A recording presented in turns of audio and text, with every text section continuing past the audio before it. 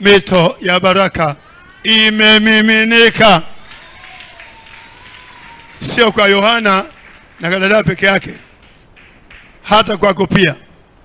Nimemwona bibi Joshua akija hapa mbele, wakati wa kusimama alikuwa anachechemea, lakini Bwana ameshusha uponyaji. Piga makofi kwa Bwana. Mito ya baraka